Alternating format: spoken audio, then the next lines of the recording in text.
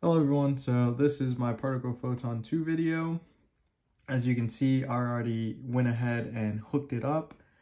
Here is the box that it came with. Here is the card and the website to go ahead and get it set up.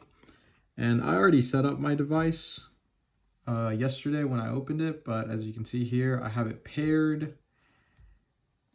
And the assignment that they wanted us to do was to make a LED light on here basically blink by toggling on and off uh, between high and low on the website or the app store.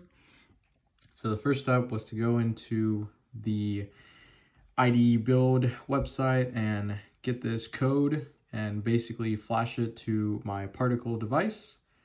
And once I flashed it onto there, I was able to go onto here into their website. And as you can see, we have the D7, currently it's on low.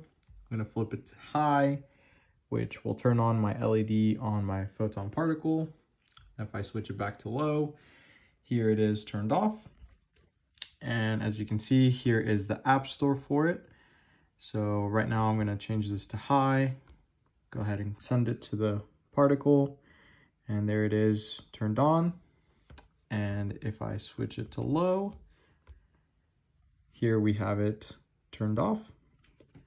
And then our professor warned us about the Tinker app being not not being able to work and it still is not functional through here. So we went ahead and used the functions tab.